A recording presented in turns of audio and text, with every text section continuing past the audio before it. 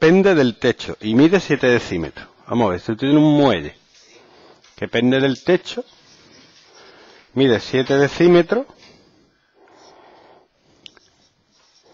y ahora le cuelgas algo y obviamente se estira. Dice que se estira 3 decímetros. Con 4 kilos se estira hasta medir 10 decímetros. ¿Vale? Porque se estira 3. Escribe la ecuación de la función peso colgado longitud total. Peso colgado, X.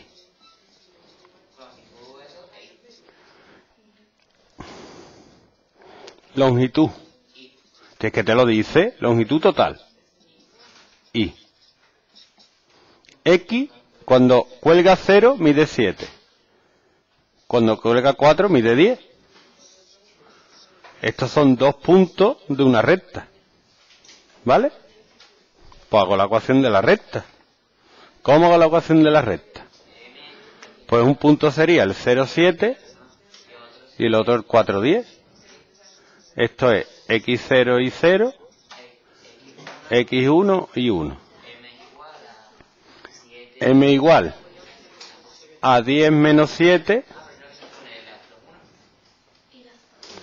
y 1 menos i0 partido x1 menos x0. Vamos, Javi, te pido que en tu casa te ponga y te aprenda la fórmula. Son 5 minutos aprendérsela.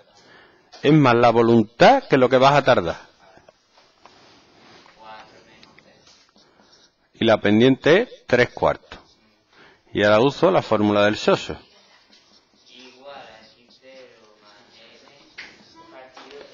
Igual y 0, 7 más m que es 3 cuartos por x menos 0.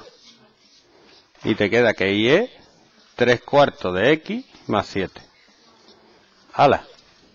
Y ya puedes calcular. Si le pone, vamos a suponer que le pone 8 kilos, por poner algo. ¿Cuánto va a medir? Pues sería 3 partido 4 por 8 más 7. Esto es 8 entre 4, 2 por 3, 6, 6 más 7, 13. Y así puedes rellenar la tabla hasta el infinito y más allá.